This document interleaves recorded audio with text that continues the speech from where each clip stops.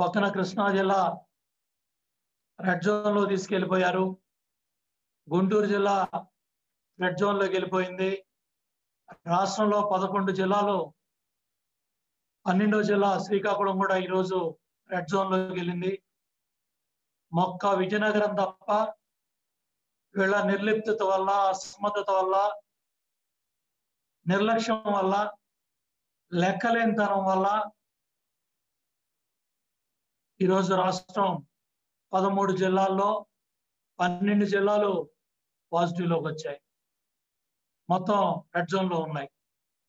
ఇవాళ కూడా శ్రీకాకుళంలో మూడు కేసులు పాజిటివ్ కేసులు బయటపడ్డాయి. ఇవేమి కూడా లెక్క పెట్టకుండా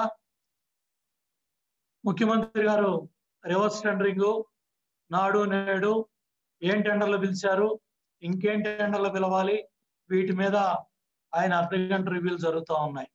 మార్చి పద్నాలుగున చేతులు ఎత్తి నమస్కారం చేసి చెప్పాను. కమ్యూనిటీ ట్రాన్స్మిషన్ జరగకూడదు. కమ్యూనిటీ ట్రాన్స్మిషన్ జరగకూడదు అని చెప్పాం. ఇవాళ ఏం చెప్పారు? డెబ్బై రెండు మందికి ఎలా వచ్చిందో తెలియదంట. చూడండి. దీనికి ఏం సమాధానం చెప్తారు? దీనికి ఏం సమాధానం చెప్తారు? డెబ్బై రెండు కేసులు ఎక్కడి నుంచి వచ్చాయో తెలియట్లేదు. ఢిల్లీ నుంచి వచ్చాయా? విదేశాల నుంచి వచ్చినాయా?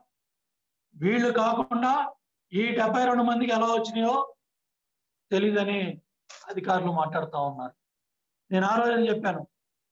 బిర్యానీ పాయింట్ అతనికి వచ్చింది. హోటల్లో ఒక మేనేజర్కి వచ్చింది. పానీపూరి అతనికి వచ్చింది. ఒక డ్రైవర్కి వచ్చింది అని చెప్తే చాలా నిర్లక్ష్యంగా ఎదురుదాడి చేశారు. మీడియా వాళ్ళు పత్రికలో వాస్తవాలు చెప్తా ఉంటే కేసులు పెడతామని బెదిరిస్తున్నారు ఈ రోజు కూడా.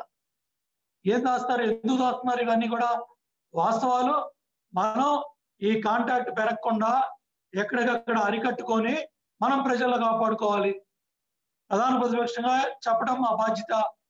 ఫోర్త్ ఎస్టేట్గా మీడియా కానివ్వండి ఎలక్ట్రానిక్ ప్రింట్ మీడియా కానివ్వండి చెప్పాల్సిన బాధ్యత వాళ్ళ మీద ఉంది. చెప్పిన వాళ్ళ మీద దాడి చేయటం చెప్పిన వాళ్ళని తిట్టడం బూతులు మాట్లాడటం తప్ప మీరు వాస్తవాలు ఎందుకు తీసుకోలేకపోతున్నారు?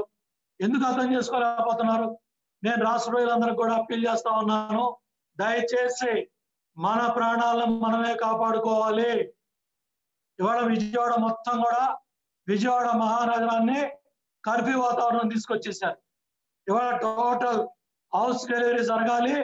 ఇంటికే కూరగాయలు కానీ నిత్యావసర సరుకులు కానీ టోటల్గా ఏదైతే మనకు అవసరాలు ఉన్నాయో అవన్నీ కూడా ప్రభుత్వమే తెచ్చి ఇళ్ళ దగ్గర పెట్టాల్సిన పరిస్థితి వచ్చింది.